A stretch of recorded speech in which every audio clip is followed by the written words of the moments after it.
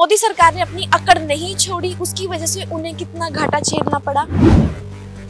कि जब ये किसान आंदोलन चल रहा था मतलब जो चल रहा है, पैंसठ जो प्लाजा थे, राष्ट्रीय राजमार्ग थे, वो बंद रहे।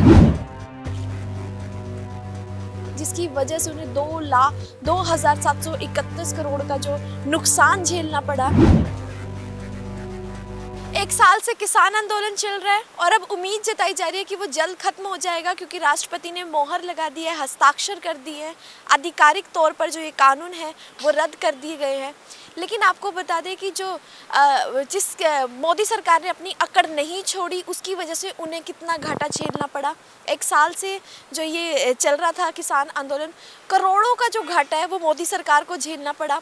सबसे ज़्यादा जो है हरियाणा में टैक्स की वजह से वो मोदी सरकार को घाटा झेलना पड़ा। आपको बता दें कि केंद्रीय मंत्री नितिन गडकरी ने संसद में बताया है कि जब ये किसान आंदोलन चल रहा था मतलब जो चल रहा है, पैंसठ जो प्लाजा थे, राष्ट्रीय राजमार्ग थे, वो बंद रहे, जिसकी वजह से उन्हें दो लाख दो हज़ार सात सौ इकतीस करोड़ का जो नुकसान झेलना पड़ा। हरियाणा को सबसे ज़्यादा नुकसान हुआ, उन्होंने बताया।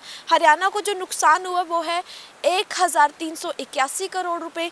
पंजाब को उसके बाद दूसरे नंबर पे नुकसान हुआ, वो है एक हज़ार दो सौ उनहत्तर करोड़ रुपए। और राजस्थान को एक सौ बयालीस करोड़ रुपए का नुकसान झेलना पड़ा। उन्होंने उन्होंने कहा कि कृषि कानून रद्द भी हो चुके हैं, लेकिन किसान उसके बावजूद भी जो है, धरना प्रदर्शन नहीं छोड़ रहे हैं। लेकिन अगर देखा जाए तो एमएसपी पे भी अभी बात होनी है।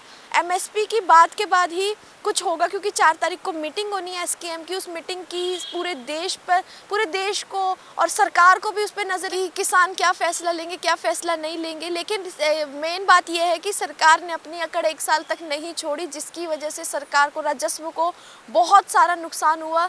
दो हज़ार सात सौ इकतीस करोड़ रुपए का राजस्व को नुकसान हुआ। सबसे पहले जो नुकसान उन्हें झेलना पड़ा राष्ट्रीय राजमार्गों में, जो ये टोल प्लाजा बंद होने की वजह से, वो हरियाणा हरियाणा को झेलना पड़ा, उसके बाद पंजाब को झेलना पड़ा और उसके बाद राजस्थान को झेलना पड़ा। अगर सरकार जो है टाइम पर मान जाती तो शायद उन्हें, उनको इतना नुकसान नहीं झेलना पड़ता, लेकिन उनकी इस अकड़ की वजह से उन्हें काफ़ी नुकसान झेलना पड़ा। बाकी अब आपको बता दें कि चार नवंबर को एस की मीटिंग है। एमएसपी पर जो बात होनी है, क्योंकि एमएसपी का मुद्दा रह गया है, उस पर जो बात होगी अब उसका क्या नतीजा आएगा? किसान क्या फैसला लेंगे? पूरे देश को और पूरी जो सरकार है, केंद्र सरकार की उस पर नज़र बनी हुई है।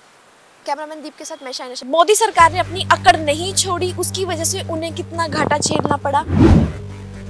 कि जब ये किसान आंदोलन चल रहा था मतलब जो चल रहा है, पैंसठ जो प्लाजा थे, राष्ट्रीय राजमार्ग थे, वो बंद रहे। जिसकी वजह से उन्हें दो लाख, दो हज़ार सात सौ इकतीस करोड़ का जो नुकसान झेलना पड़ा